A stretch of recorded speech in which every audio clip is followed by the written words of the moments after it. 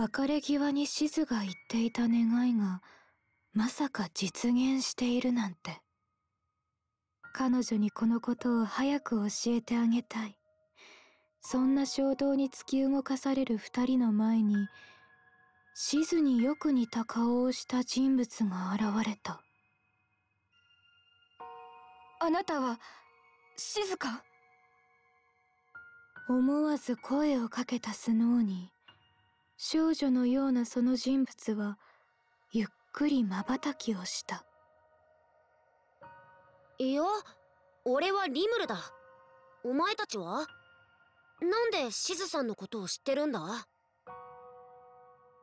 シズによく似た人物。リムルは興味深そうに二人に問いかける。私たちはシズの友達で彼女を探しているあなたこそシズを知っているのか？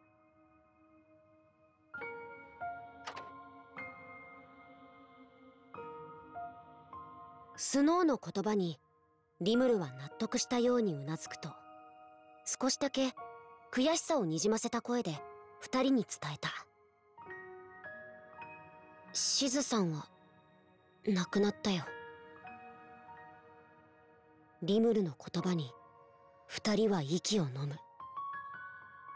その時だった。テンペストに化け物がなだれ込んできた。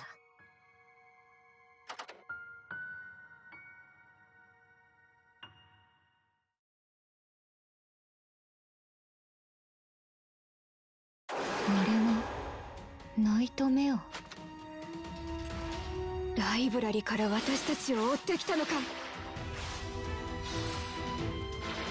あいつら何者だ？魔物なのか？違う。魔物ではない。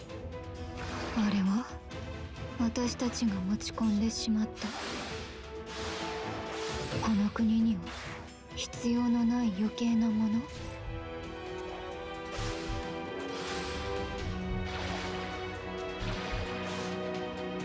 圧接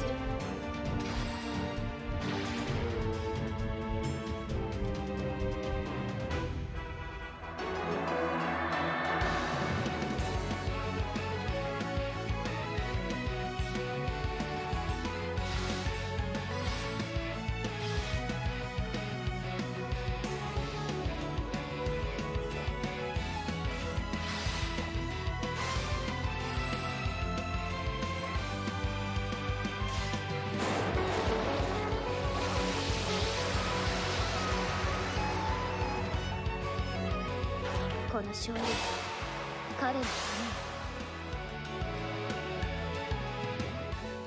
め。行き場のない悲しみをぶつけるようにナイトメアを散らしたアリスとスノー。リムルは礼を言いシズに会いたいのなら高台に行くようにと教えてくれた。このモニュメントは？シズの慰霊碑だろうな。高台に積み上げられた石の前でアリスたちはそっと手を合わせる。あなたの善良さを私たちは忘れない。シズが友人となってくれたことで魔物であることも悪くないと思えるようになったのだとつぶやく。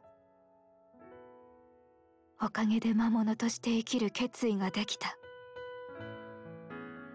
二人は彼女との思い出を胸に自慢の魔物ボディでライブラリへと帰った。